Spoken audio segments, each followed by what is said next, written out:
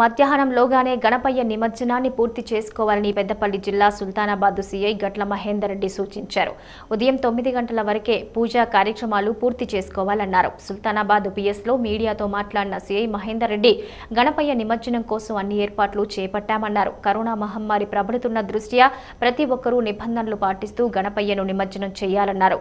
గణేష్ నిమజ్జన కార్యక్రమంలో మరియు మొహరం పండుగలో ఎలాంటి ర్యాలీలు ఊరేగింపులకు అనుమతి లేదని ఒకే చోట జనం గుమిగూడవద్దన్నారు ప్రశాంత వాతావరణంలో గణపయ్య నిమజ్జనం పూర్తి చేసుకోవాలని సూచించారు. ఎవరైనా నిబంధనలు ఉల్లంఘిస్తే వారిపై చర్యలు తీసుకుంటామన్నారు.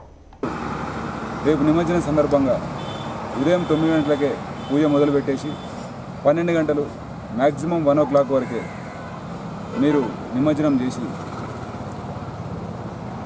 ఎలాంటి కరోనా వ్యాప్తి చెందకుండా మీరు నివారించాలని సూచిస్తున్నారు.